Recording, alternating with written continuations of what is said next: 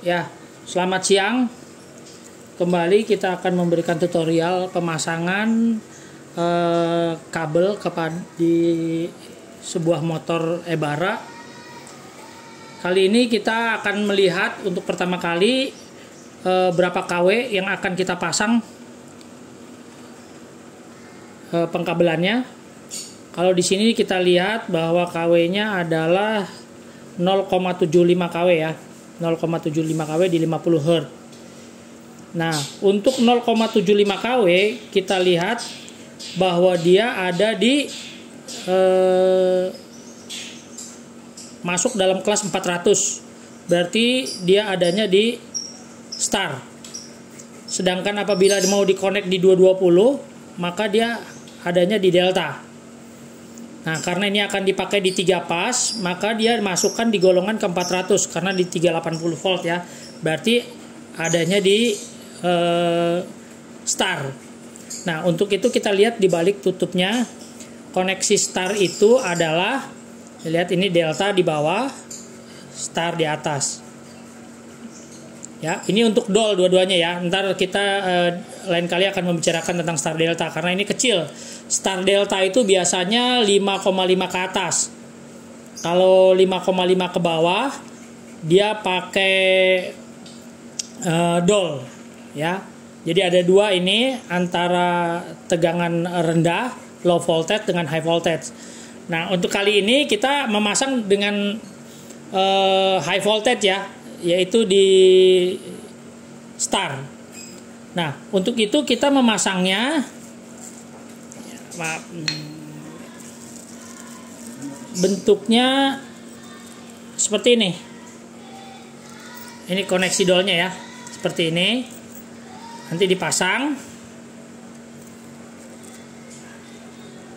Pasang.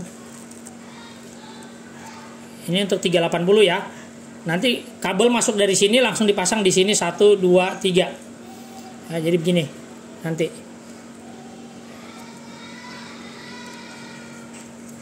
Nah untuk di panelnya menyesuaikan ya UVW dan apabila uh, sudah terpasang kita nanti akan melihat putaran. Apabila listrik sudah masuk kita lihat putaran.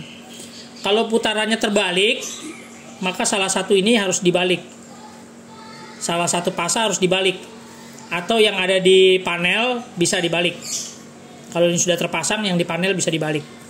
Ya itu untuk pemasangan 380 untuk pemasangan di 220 apabila ini digunakan mau dipakai di 2280 eh, di 220 maka penggunaannya itu masuknya ke delta.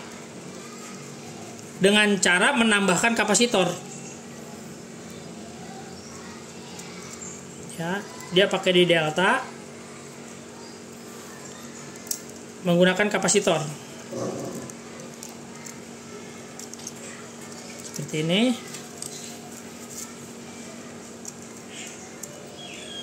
Nah nanti untuk dua ini dipakaikan dipakaikan kapasitor.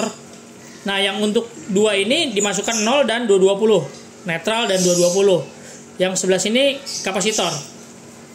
Ya dan apabila ini putarannya terbalik, maka kapasitor akan dipindahkan ke sebelah kanannya ini. Yang di sini dipakai untuk 0 dan 220 kapasitornya dipindah kemari. Tapi dalam bentuk e, mengikuti ini ya, ini dalam bentuk delta. Dia mengikuti, mengikuti ini ya. Di sini di sini 230 atau kelas 230 dipasang 220 masuk ke delta ya itu aja tutorial dari kita untuk pemasangan uh, wiring di terminal motor. Di bawah uh, 5,5 kW. Dia pakai star atau model seperti ini. Nanti untuk dol di 55 k di atas 5,5 uh, kW itu beda lagi ya.